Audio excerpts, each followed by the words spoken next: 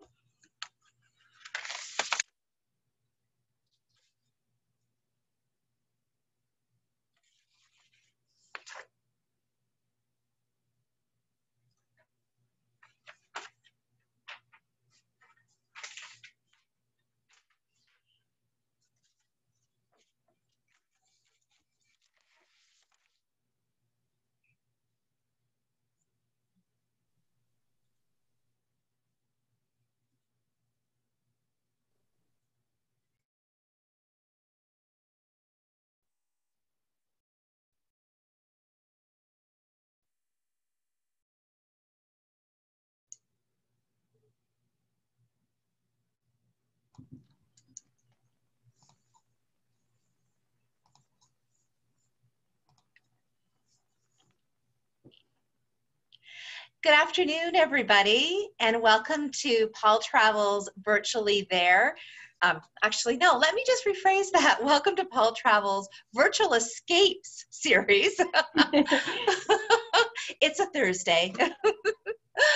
I'm Rhonda Svia, I'm the leisure manager with Paul Travel, and co-hosting with me today is Julie Bekdashe. Hi, Hi Julie. everyone. Hi, everyone. Thank you all for joining us today and spending a little time with us doing a little daydreaming. You know, I think it's always fun to really think about where our next vacation might be and uh, what kind of experiences we all want to have, or perhaps we just reminisce about holidays past because that's what we're doing these days, thinking about where we've been and what we what kind of you know experiences we have and you know what we want to do next. So thank you so much for joining us where we hope that these uh, travel series um, really gives you a chance to escape for an hour and uh, be informative and inspiring. Now, just in case you've missed any of our previous webinars, you can visit our website, so uh, paultravel.com slash webinars. You'll see all of our past webinars that we've done, and I believe this is our 23rd or 24th, so there's some really great content, um, and if you've missed any or just take a little look to see what you might be interested in, so please visit our website also um, you know if you want to register for our upcoming webinars, you can register on our website and you can also do that on any of our newsletters that we send out as well. And we, those generally come out on a weekly basis.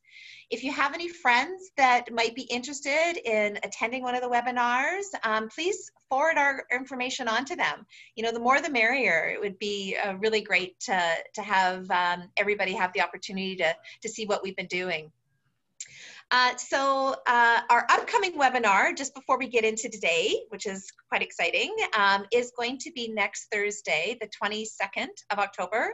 We're bringing it a little bit early at 10 a.m um, on Thursday morning, and it's going to be on Anguilla, which is one of my favorite Caribbean islands, and a close island to Anguilla, uh, the French side of St. Martin. So mark that on your calendars and uh, register if you can. So it'll be a, a great little uh, visit to some sun and sand, which I think we're all going to be ready for.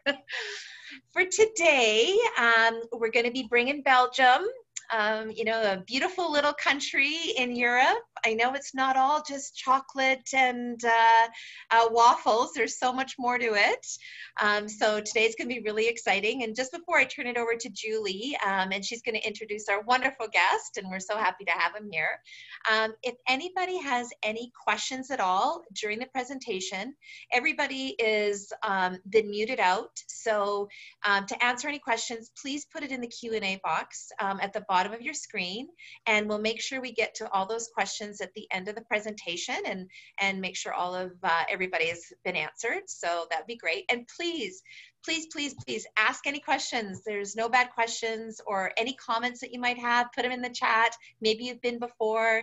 Maybe there's a great little spot or restaurant you would recommend. Uh, we'd love to hear from you, so be really good. So, so Julie, have you been to, to Belgium at all? I know myself, I was on a coach tour you know, the ones that you see 30 countries in 10 yeah. days kind of thing. Yeah, yeah, yeah. It's a blur. Yeah, in a blur. I spent one day in Brussels, but you know, there's just so much more. Bruges is a place I'd love to see too. So, how about you? Have you uh, had a no, chance? I have not been yet, but um, I do. I would also love to go. Um, and I feel like I, I, echo you. Your thoughts were virtually there. I feel like I'm virtually yeah, in Belgium now. Exactly. and I have to say, I love the the strawberry fruity beer, the the Belgian beer. Oh, yes. Thank you. So that's great. Yeah, today with us we have Marco Frank, and he is from the um, Flanders Belgium um, Tourist Board. Uh, he has um, he's in charge of marketing the Flanders Belgium region to, and he works closely with tour operators and travel agencies to let us know what the best experiences are so that we can pass those along to you, to our clients. So to make sure you're having the best time possible. So uh, Marco, he he's, I'm going to call him her, our honorary Canadian today because he yeah. has lived in Canada. He's been to a Edmonton Mall and um, even been on the radio in, uh, in Edmonton that he was telling us yesterday. So yeah, yeah, Finn, he knows Canada really well, and um, he's uh, he has a background in luxury river cruising, and he just has a wealth of knowledge in business development and marketing. And we're just really excited to have you with us today, Marco. So yeah. we'll let you take it away. All right, thank you so much, Julie. Thank you so much, Rhonda. So without further ado, let's just uh, dive in to our virtual journey. Let me just uh, share my screen with everybody. And uh, great, so let's get the presentation started. So today we'll take a virtual trip to Belgium and primarily to the Flemish, the Flanders part of Belgium. Uh, let me just show you at the beginning a little bit of an introductory video. Uh, the first one is a short video that gives you a little bit of an impression what it is to arrive in a destination. And he would typically arrive into Brussels airport.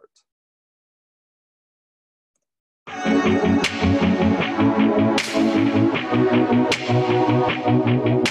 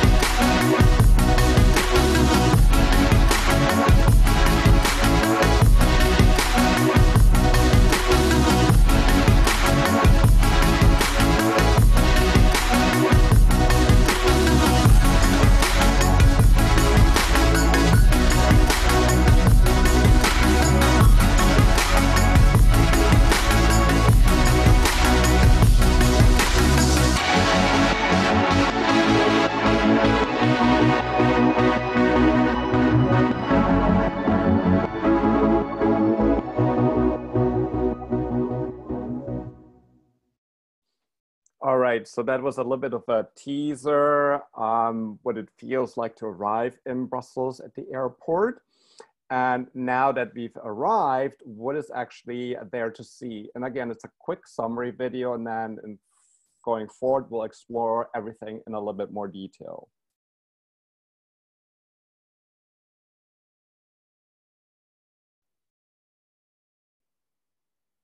This is Flanders one of Europe's hidden gems. Well, obviously we've hidden it a little too well, because a lot of people can't seem to find it. But don't worry, we're here to help. Flanders is right here, in Belgium, between France and the Netherlands. Flanders is situated in the heart of Europe. Although it can be hard to find on a map, it's incredibly simple to get to. By plane, for example, through our biggest airport, the one in Brussels, called Brussels Airport. As Flanders is part of the Schengen area, you can get there from another European country without border checks. Easy, right? But do you know what's even easier? Staying in Flanders and discovering the region by train, bus, car, bike, horse, Segway? Nah, that just looks silly. This is better. Would you like to know more about Flanders? Great! Go to visitflanders.com.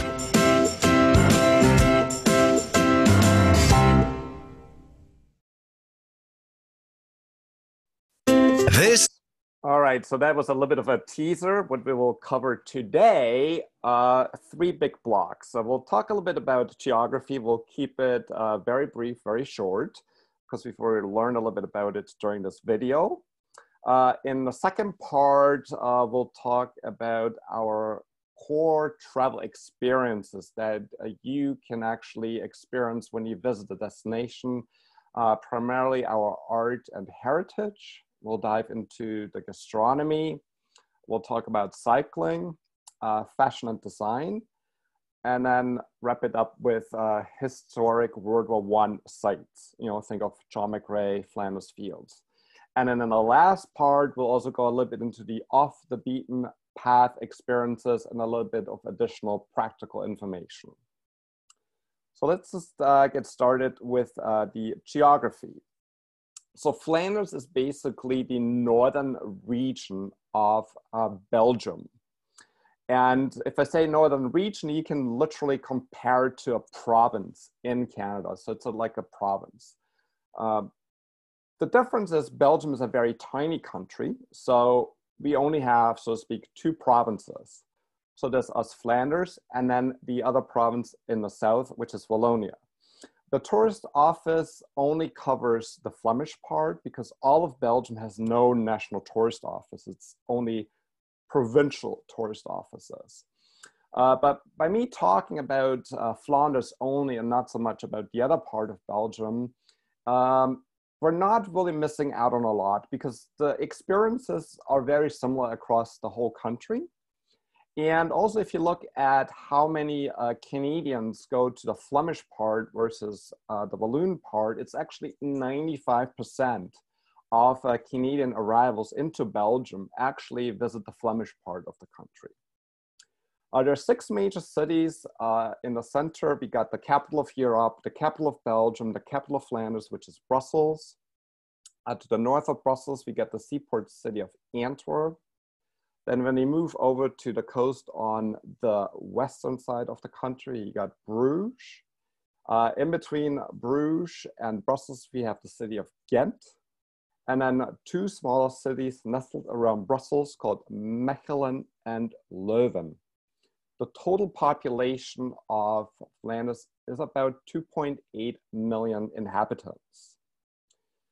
If you want to know the size of Flanders, because that everything is very much smaller, and want to compare to anything uh, in Canada, it's approximately two times the greater Toronto area. So if you are familiar with the GTA, it's two times the GTA.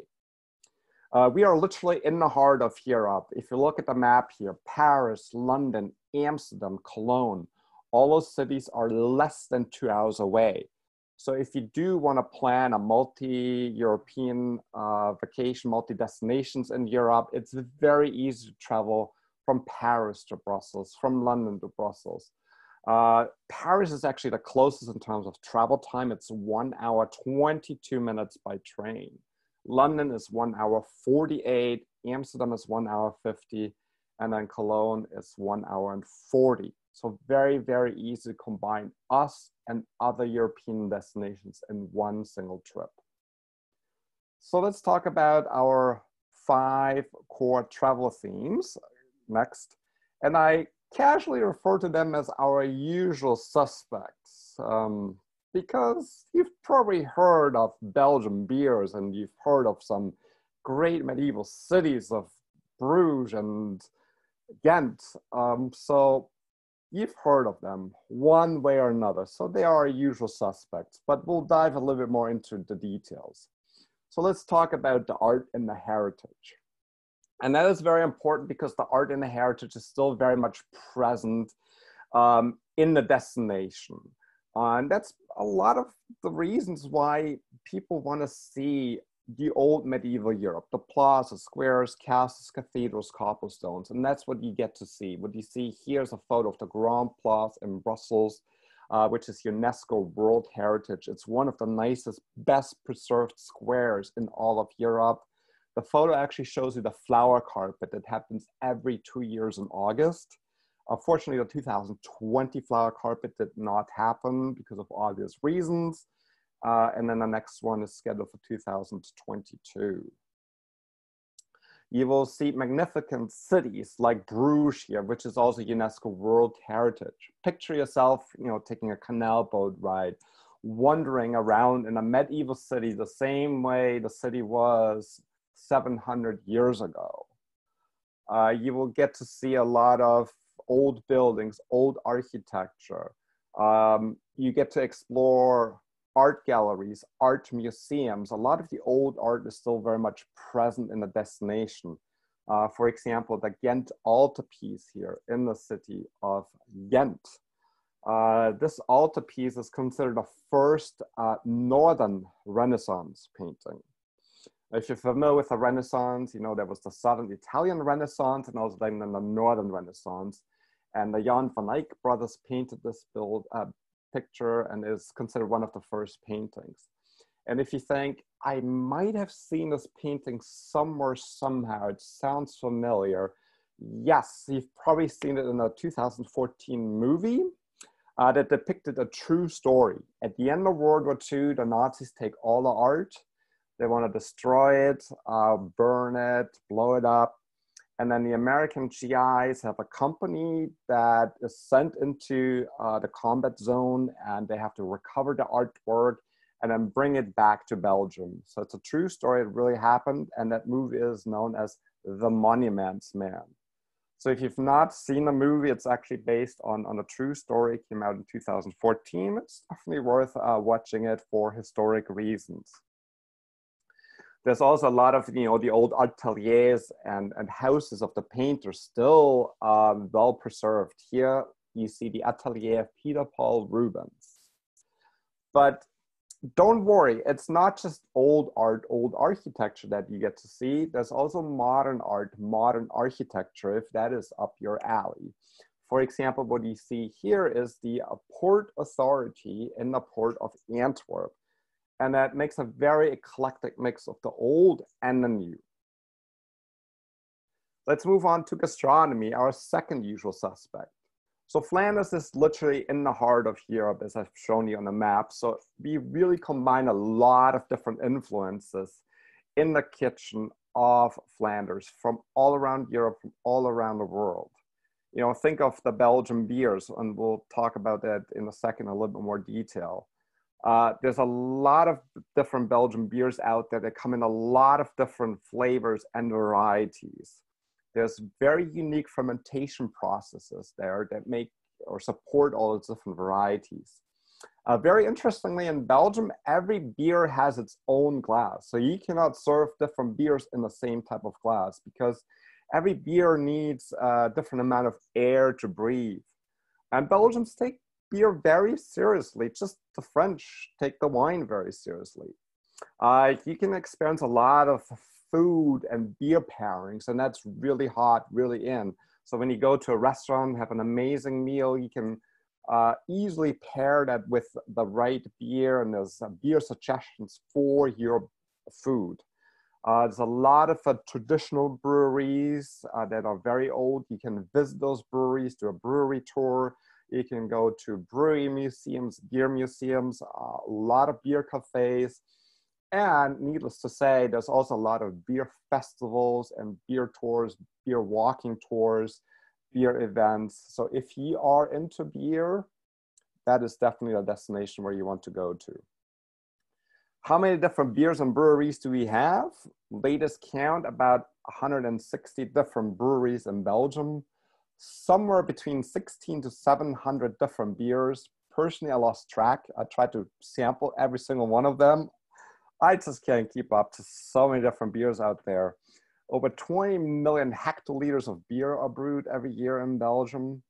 Uh, the world's largest beer brewing company is from Flanders. Uh, officially, the company is known as Anheuser-Busch InBev, InBrew, InBev Beverages. They are best known for their original brand, Stella Artois. But Stella Artois is no longer the company name, it's just the, the name of the beer brand. And they also made a lot of inroads uh, into Canada as well. Um, you know, Labatt was purchased by them in the 90s. Uh, the best beer, top best beer cafes are in Flanders. A lot of international awards for our beers. And least but last but not least, uh, Belgian beer is actually a recognized UNESCO World Heritage. So don't be afraid to drink Belgian beers. You are drinking UNESCO World Heritage. Some inspirational images, and so it's really done in a casual way. Uh, sometimes I get asked, you know, what is the difference between a German beer culture, because Germany also has a lot of beer, and Belgian beer culture, and then the, the difference is very clear in a sense that in Germany it's all about the big beer steins and Oktoberfest and drinking big quantities. In Belgium, it's about small quantities and savoring it, taking your time, exploring the different flavors and tastes in the beer. Moving on to chocolate, Belgium is definitely a chocolate nation, a chocolate country. Lots of different uh, chocolatiers out there, chocolate experiences. We really eat and breathe chocolate. Over 660,000 tons of chocolates are produced every single year. There's a lot of innovative chocolate products out there. Um, shocking combinations. Uh, there's a couple of chocolatiers that I personally know that have worked in Asia and are now bringing back Asian flavors and working them into their chocolates. You think wasabi and chocolate doesn't go together? Yes, it does. It makes a very interesting combination. Every city or village has their own chocolatiers, uh, over 320 in total. And when I talk about chocolatiers, I'm really talking about the individual mom and pop store chocolatier, not the mass producers that, of course, also exist in Belgium. Take, for example, Godiva. Uh, a ton of chocolate museums out there. You can uh, sign up uh, for a chocolate workshop where you, when you're in a destination and you travel uh, agent, travel advisor can book that for you. You can do a chocolate tour. And we really eat chocolate, we cook with it, and we use it for health benefits and wellness because I'm sure you've heard that dark chocolate is really healthy for you. Belgian waffles, of course, and uh, great, great experience as well. Uh, Belgian fries, eaten, of course, with mayonnaise. That is the traditional way, but no worries. If you don't like mayonnaise, you can always add your ketchup or my favorite topping is actually curry and of course mussels and Brussels. So we really take care of you. You do not need your bring your own food. We have excellent food in Belgium. Also, let's take it up one level and talk about the high-end fine dining experiences.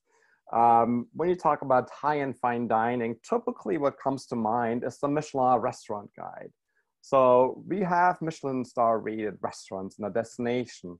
And every now and then I, you know, get comments uh, when I bring it up, and people they're surprised that we do have Michelin star rated restaurants in a destination.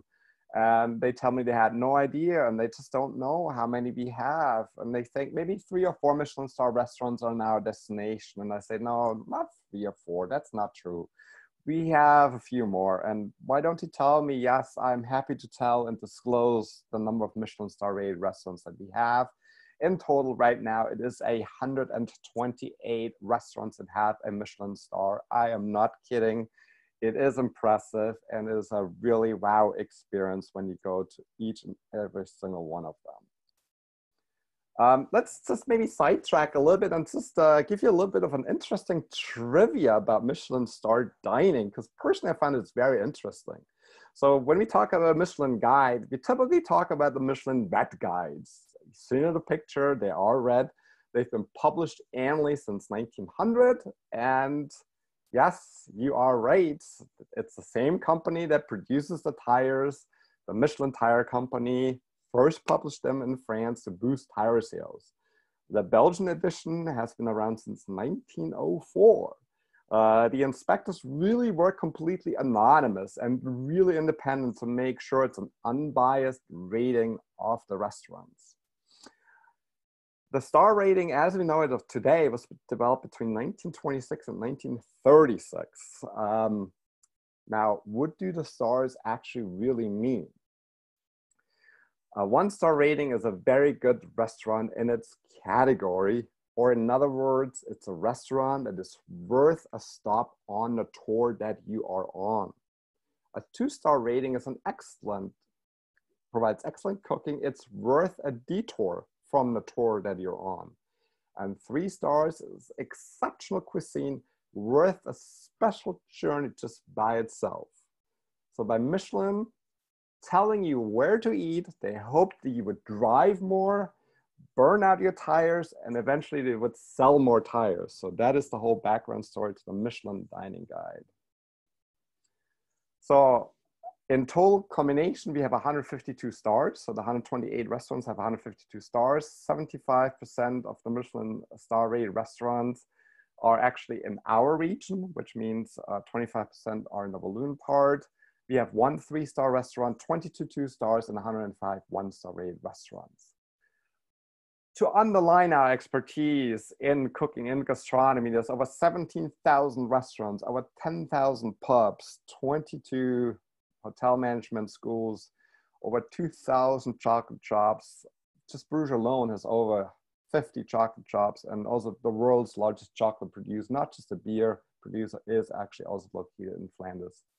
So hopefully I can uh, just create some interest in exploring our destinations just for the food alone.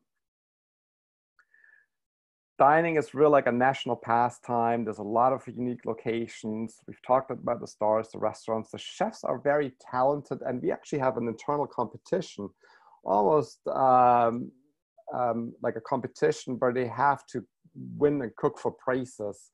And the chefs are then promoted. The frites, the Belgian fries, are also an intangible government national heritage. Different unique locations where you can eat in the castle, along the canals. Uh, there's lots of food events that you can also visit as a visitor to this destination. There's gastronomy where they cook with beer, like beef stew, simmered in a stout. Excellent, excellent food. And of course, you can also book maybe a cooking class, um, with a Michelin star chefs where you might pick up a couple of tricks of the trade. So great, great experience. And by the way, let me tell you, the food is not expensive. If you thought Michelin star dining is cost prohibitive because it costs an arm and a leg, it is not. My last Michelin star dinner in Bruges uh, was six courses uh, for the food portion. That did not include the wine. So the food alone, six courses was 59 euro. So I think that should be in everybody's budget to at least visit a Michelin star restaurant once. Let's talk about uh, the active wellness, the cycling aspect of our destination, because that's the reason why we can eat well, because we exercise also well, and so can you. Uh, so Flanders is an excellent cycling destination for all skill and interest levels. What I mean by that is you might not be really the professional or the enthusiastic cyclist. You might be more on the leisure side. You just want to rent a bike for two or three hours, cycle around Bruges, and then call it a day and do other things. We can do that. We can do it really easy on the leisure side. No stress, no worries. Worries. We can rent the bikes. Like everything is available or you might fall more a little bit more into the middle category. Yes, I am excited. I I'm, i can do a half day tour. I want to be out on the canals, or I can do a full day. Uh, I want to do that. I just want to rent a, a, nice bike and then be out there in the countryside. Yes, we can do that too. Or you might be a little bit more on almost professional side where you say like, I want to be out there with my cycling club. We want to do five days nonstop. We can do that. So no shortage of professional cycling, leisurely cycling along the canals. It's flat, it's easy. Pack up the kids and the family. The whole cycling network is really easy to navigate. As you can see, it's all signposted. So you just look up um, your route on a map. It has all those numbers. You just take down the number and then off you go. You don't need to bring a map along. You just remember the numbers, route 12, 2, and it just follow those numbers. The whole cycling network is over 12,000 kilometers long. It's all signposted and you can just like easily plan all your routes in advance with an app, with a map, online. Uh, there's also thematic loops available. So if you wanted to say, okay, I want to do a route that focuses on beer or on architecture or on Peter Paul Rubens, uh, maybe on castles, easily done family friendly for beginners, for the advanced cyclists. Everything is possible. Or if you want to do a little bit more long distance cycling, really get the kilometers in 10 routes available, uh, 1500 kilometers of long distance cycling. Let's just uh, look at a quick video. The enthusiastic aspect of cycling is covered here and then see what type of experiences those guys have. We are in Flanders at the moment, in Belgium. We're riding some amazing roads, both on tarmac, on gravel, and some cobbles as well. I think the hardest part about riding in Flanders are all the steep hills and the cobbles. Uh, we're not really used to cobbles, but after this weekend, I think... Small country lanes, tight turns uh, we're not used to maybe. Twisting, turning, going up and down all the time. You don't know what to expect around the next corner.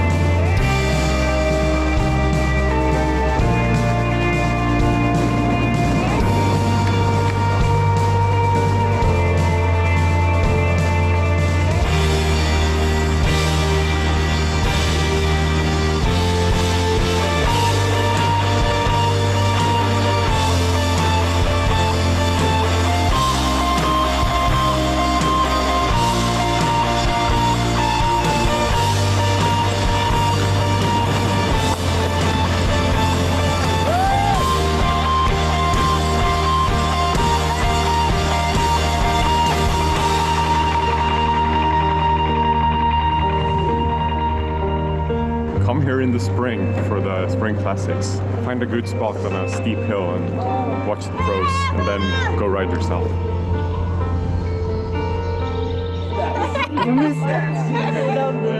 When we came back from riding, we went straight to a pub where we had some uh, some really nice local beers. Flanders is definitely an excellent destination for, for cycling uh, with the history, all the racing, and uh, Yeah. yeah. it's just seeped in. You can see it everywhere. Everybody knows everything about cycling and people cheer you on.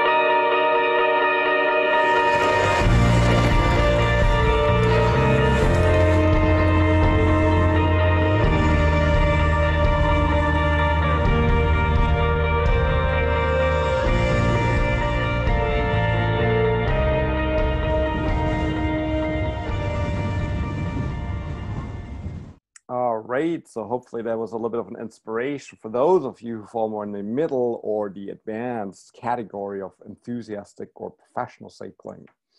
Let's briefly talk about fashion. There's literally like a very long history of fashion, cloth trading, clothes making uh, since the Middle Ages. Um, think of a tapestry, Belgian tapestry, uh, Belgian lace it really started out several centuries ago. And what stands out today nowadays is actually the Fashion Academy in Antwerp, which is actually rated number three in the world, the third best fashion academy in the world. So a lot of opportunities uh, for you to bring your platinum RBC or Bank of Montreal credit card and go shopping, shop until you drop. You got international designers, you got local designers, good, great prices in the destination. And of course, by the way, you also get the sales tax, the value added tax back because you're exporting them, you're bringing them back home, the clothing. Go shopping for gloves, shoes, hats, dresses, skirts, ties for guys. You know, sometimes you get our fashion needs as well. Tailor-made, custom-made clothing, and of course, diamonds. Antwerp is still the diamond capital of the world. Uh, depending on what type of diamond you're talking about, up to 80% of the world's diamonds are still cut and traded in Antwerp. Of course, the diamond mining does not happen in Belgium. No mining, you know, that's done in Canada, South Africa, but the diamond cutting and trading, that's where Antwerp still very much excels.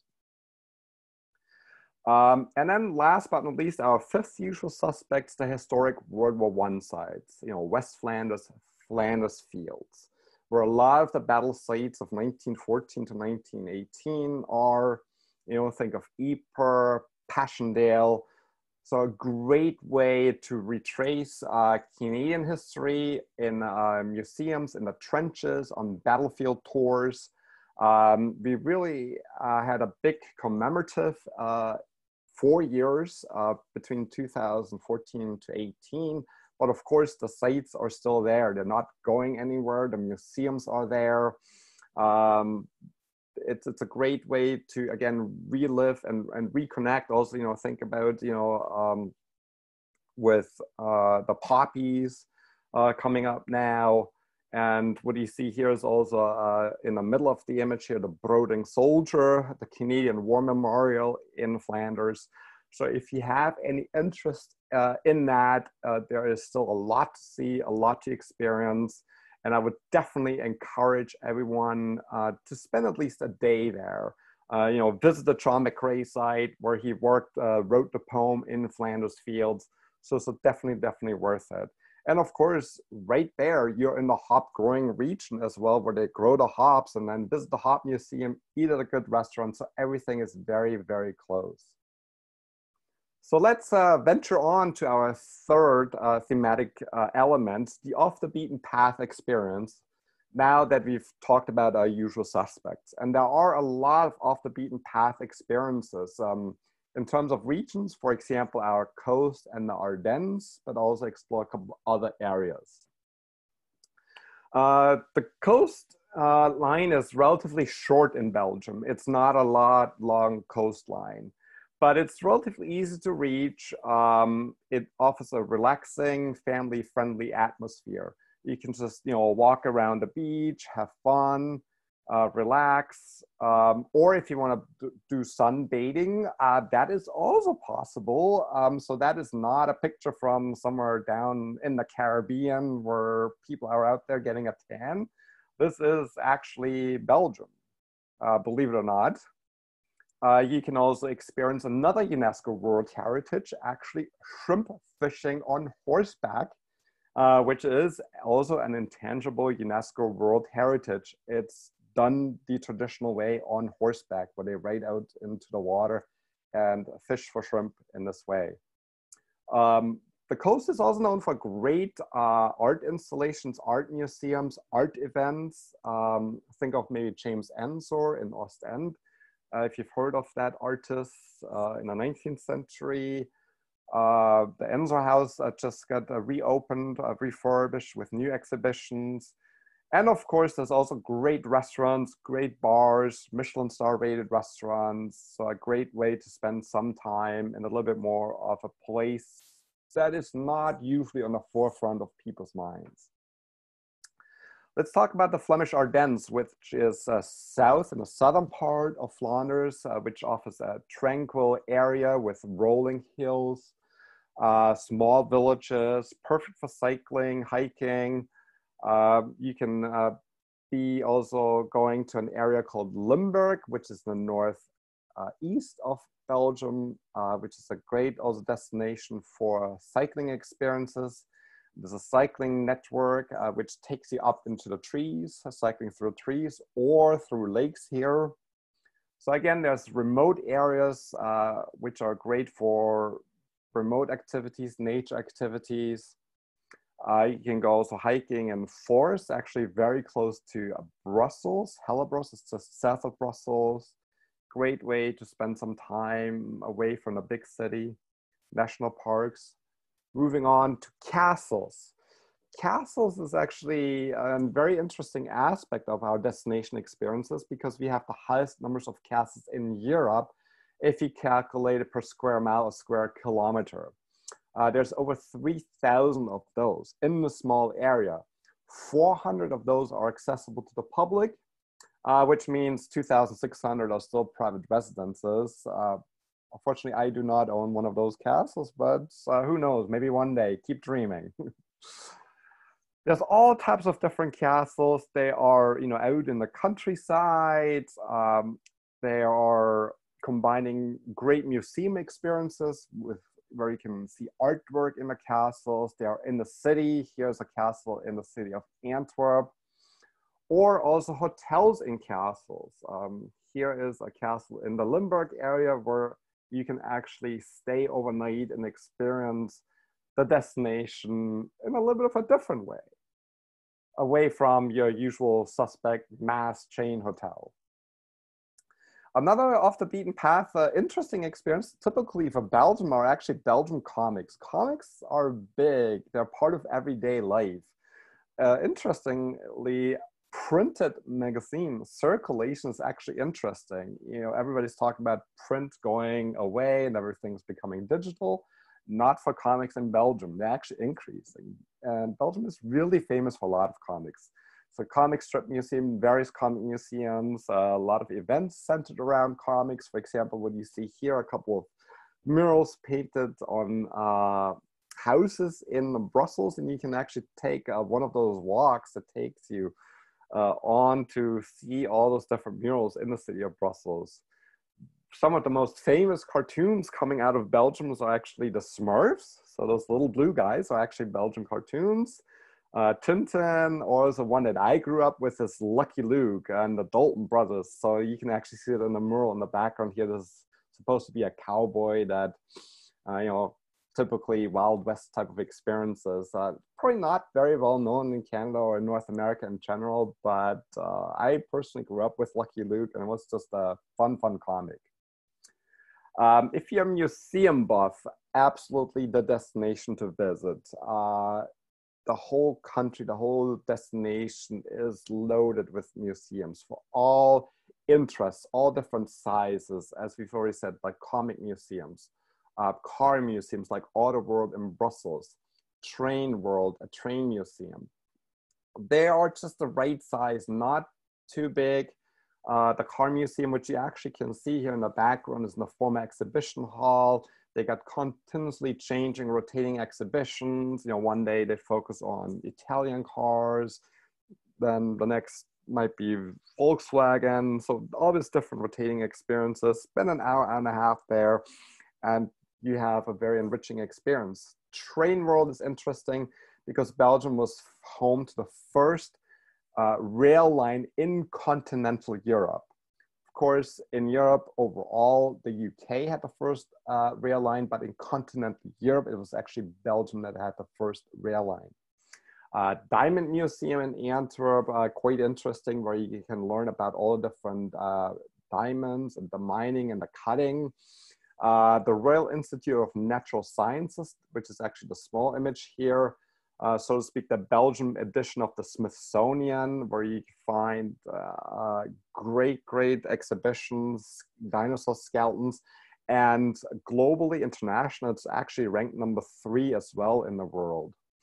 If you just want to have a little bit of fun and learn about potatoes and fries, then go to the Fry Museum. You might think, why would I want to go to a Fry Museum? I just like to eat them and enjoy them trust me, it's definitely worth a visit. You learn so much about potatoes and where they come from and, and the growing and how then potatoes are turned into fries.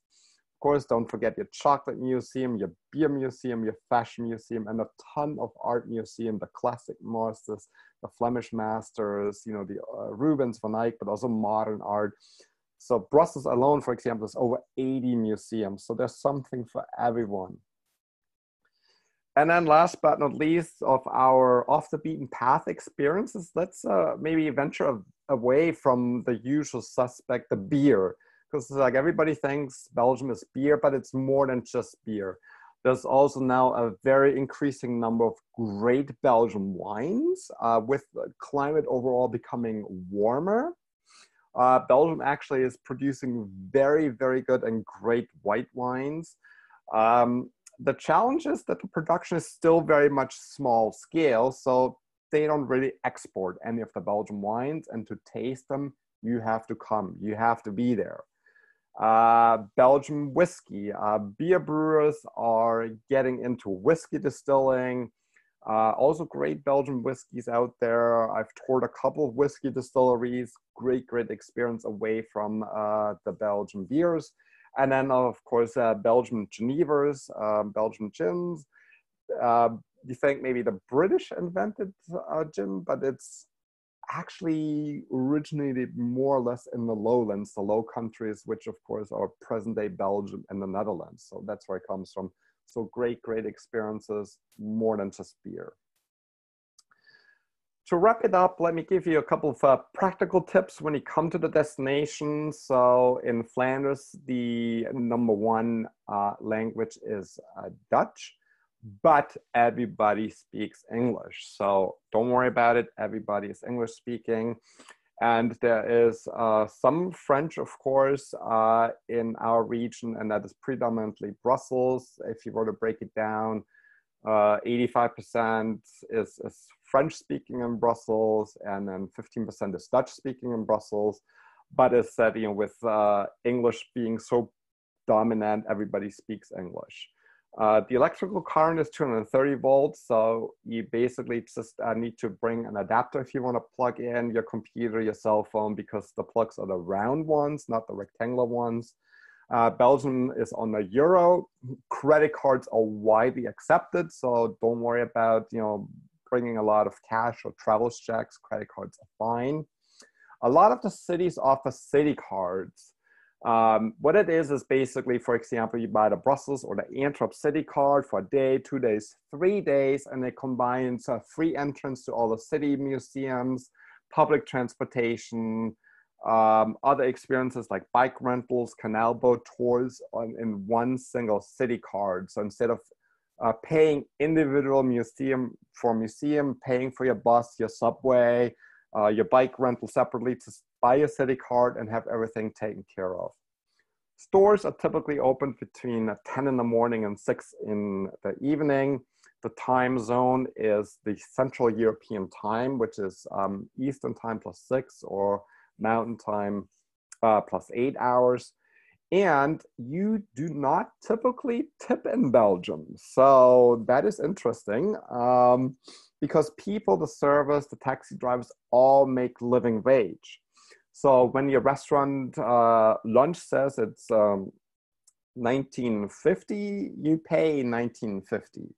Um, so tips don't are included. You do not tip separately. Of course, if somebody goes above and beyond, they gladly accept a tip. But typically, you don't need to worry about that. So with that being said, it brings us slowly to the end of the presentation. I have just one more video to show you.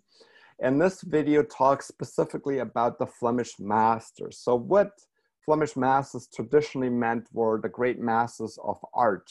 The Peter Paul Rubens, Jan van Eyck, Bruegel, that create all those great artworks that still can be seen in the destination. But by now you should have seen that also there's modern masters of modern Flemish uh, skill set and craftsmanship, you know, the Michelin star chefs, the beer brews, the chocolatiers. So it makes this eclectic mix of old Flemish masters and new Flemish masters. And this video combines those experiences into one. So let's just watch it. For ages, Flanders has been home to the old masters. Still today, Flanders is the place where new ideas are born against a historical backdrop. Are you ready to explore? Nibble on the chocolate beard of Rubens' self-portrait. Experience the winter in Flanders like white powder on your waffles, or pedal your way through Bruegelian landscapes. Adore the mystic lamb in the Ghent altarpiece, showing the holy traditions. When Icarus falls, Antwerp's fashion catches. Observe Van Eyck, the first master of oil painting.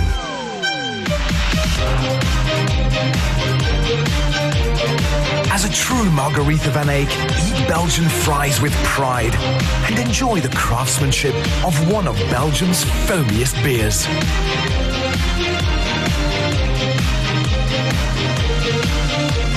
Where Rubens' cross descents move on the lines of his art.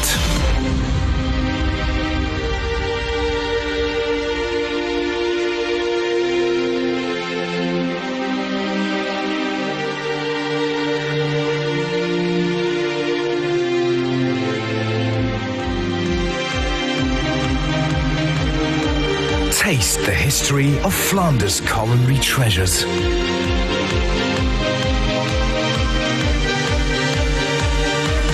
A Bruegel rebel angel and party in the land of tomorrow. Come to the heart of Europe to wear, taste, hear, smell, show, and honor our Flemish masters.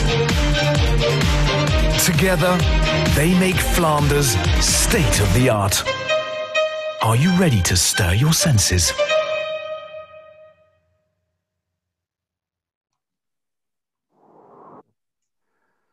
So that basically wraps up my little virtual tour to Flanders, uh, Belgium. I hope you uh, got some inspiration, you got some uh, new ideas, um, that we have some great destination experiences for you to offer. Uh, maybe you haven't thought of us before, so give us a chance whenever the time is right to travel again next year. Thank you.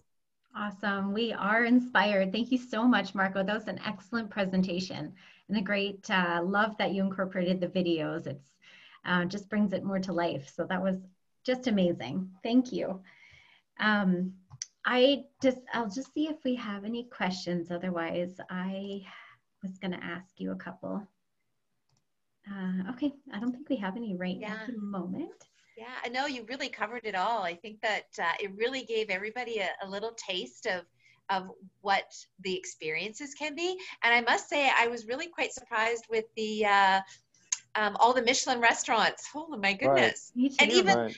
how Michelin was formed. That was very fascinating. Yes. Right. Right. Yeah. it, it is. I, I agree. And I said um, a lot of people don't know the background story to that, and sometimes they're surprised. Wait a minute, this is the tire company, and then they do the rest of it. It's the same company. Yes, it is. Awesome. Um, I just wanted to ask your personal favorite time of year to go to Belgium. Um, anytime is a good time to go, and and I'll tell you why. Personally, it doesn't matter, you know, what country you're in. My favorite time is springtime. Uh, in general, because uh, in terms of it's the right um, temperature for me, it's not too cold, it's not too hot. It's kind of like feels almost like a new beginning, an awakening. Um, mm-hmm. Um, so personally, my favorite time is springtime, and it's a great time to visit the destination. If you want it a little bit warmer, saying like for, for me, again, it's an individual experience. Maybe spring is a little bit too cool, so you prefer more the summer. You want to spend maybe a little bit more time at the beach, you know, dip into the water. Then of course go in the summer if you might be saying like, okay, I don't like maybe a lot of people around me, or specifically with you know COVID and social distancing, maybe I go during off season. So fall is also great. You know, mm-hmm. less people in destination. Or you might say, I'm really into Christmas markets, and I want to see all those like gingerbread castles and and mullet wine.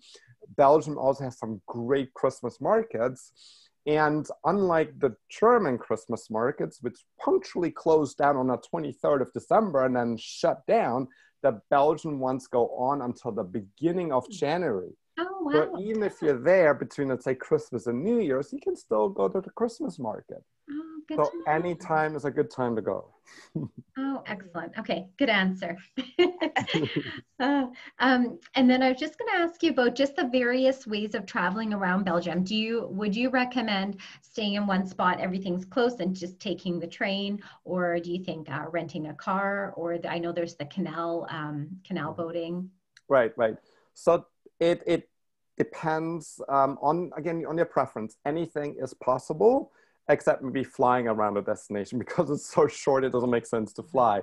So if you just want to unpack once and then from there venture out, pick any city that you like because everything is so close. It doesn't matter if you pick Brussels, if you pick Ghent, Bruges, or Antwerp, or Mechelen, whatever. It does not matter. Just unpack once and then from there, either take the train, take the car, I mean, trains run very frequently. You miss one train, you wait 10, 15 minutes, there's another train to the next destination. So super easy to travel by public transport, by, by car if you want to. It depends what you want to do. Or some people might say, I really want to dive into the authentic local experience. So when I visit Brussels, I want to stay in Brussels. When I visit Antwerp, I want to be in Antwerp, stay mm. overnight. They can do that too. Or, no kidding, if you're up to that, you can cycle around the destination. I've done a one week cycle around a whole destination trip. So, if you want to cycle from Brussels to Bruges, you can do that. No problem at all. Just hire a van company that hauls your luggage to the next hotel, swing yourself on a bike, and then you bike to Bruges. Possible. Awesome. So fun. I love so that. great. And I love that the bike uh, routes are numbered. That's such a that's such a great idea. Yeah, a little bit of a background story. That was actually done by a mining engineer that worked in underground mining. And before the system was invented by him, he was a little bit frustrated because it was not clear. You always had to remember on Main Street, take the third road left, and then get onto whatever Autumn Avenue, and then you had to remember all those streets. It just doesn't make sense. It's way too complicated. And then he knew how they um, numbered everything underground in the mines, which is also a numbering system. And they basically brought this on top of the surface. They laid a whole grid across the country and basically applied the underground mining numbering system to above ground. And that's how they came up with a numbering system. Oh, incredible. Genius. It is. um, and then, perfect. And then just uh, one question about the biking. Mm-hmm. Um, the, so obviously people can rent bikes there and then are there different um, routes that I get it's pretty flat so uh, but there's are there different levels? Like if you looked at a map are there different levels like maybe based on distance or something no it's not it's not like your ski map where it says like uh you know black easy and intermediate and uh black and double black or yeah. so. Um i mean everything is is is pretty easy. Um, it doesn't give you like a, a, a level of difficulty per se, um, but um, you know, it, it should be kind of like pretty obvious, you know, when you when you plan a route. If you're a little bit uh, more in the south and you want to retrace, you know, some of the elements of the Tour of Flanders, you know, which is this professional bike race, you can do that. Uh, there's a couple of climbs in there, and it gets hilly. Uh, you are aware of that, and it, it's pretty obvious. But the, the hills itself are not very steep. But let's say you're an everyday cyclist, there's nothing to worry about. There's not like a climb in there that you cannot master it's it's okay. flat it's easy don't worry about it okay and i know e-bikes are are really popular so probably also right right which is personally you know i consider myself more like the passionate hardcore cycling enthusiast you know i want the real bike and then i'm out there biking and then you see sometimes you know like retirees on the e-bike passing me. it's like oh, they're passing me up, up here. It's like, oh. and again, you got to work off the waffles. And yeah, exactly. Perfect. Well, you're so knowledgeable, Frank, uh, Marco, and I think um, once our clients start traveling, we'll have to get back to you with some of your favorite um, chocolate shops and and breweries and that to to pass along. So that's one Absolutely. wonderful. So, yeah. so and also maybe just to keep in mind, you know, uh, the, the whole destination is for like a, a value destination. By value destination, uh, I mean it's not expensive to visit the destination. You know, you, for example, like you know, you go to Hawaii, you know, they have to import all the food, everything needs to flown in. So, you know, your cost of living is expensive. Your your food bill will be expensive. Not in Belgium. You go to a restaurant, you pay a very reasonable, um, uh, you know, amount of money I mean, when was the last time you went to a pub and you ordered a pint of beer and you paid one euro eighty? Mm. It wow. does happen in Belgium. Yeah. That yeah. that's that's wow. a price that you still end up not for every single one, but yes, the the cost, the hotels, you get so much more value for your money. Yeah. You thought, okay, we want to do Paris, and maybe I can only afford a three or four star in Paris. He can afford a five star in, in, in Belgium for the same price so a tremendous amount of value. Think That's of, great. Well, yeah, thanks for mentioning that. Yeah, and it's a really great option because a lot of people might be heading on a longer journey and stopping over in Amsterdam, for example, and maybe they've been to Amsterdam before or maybe a couple of times. You know, this is a really great suggestion to kind of head out, go to um, Belgium and experience that for, you know, even three, four days. Mm-hmm. You know, right. it might be just a, a different experience for you. Absolutely. It's yeah. so close. As I said, you know, everything is under two hours. Yeah. And I mean, you can you can you can even as like be as adventurous and say, okay, yes, I want to do Paris and, and London and Amsterdam and, and Brussels on my trip, but I'm gonna base myself in Brussels, and from there, I'm gonna do day trips to Paris. I'm gonna do a day trip to London. It is possible. There are people that work in Paris but live in Brussels and they commute on a train every day because the cost of living is just so much cheaper. Hmm. Oh, that's good to know. So in, in my casual casual phrase, Paris is a suburb of Brussels.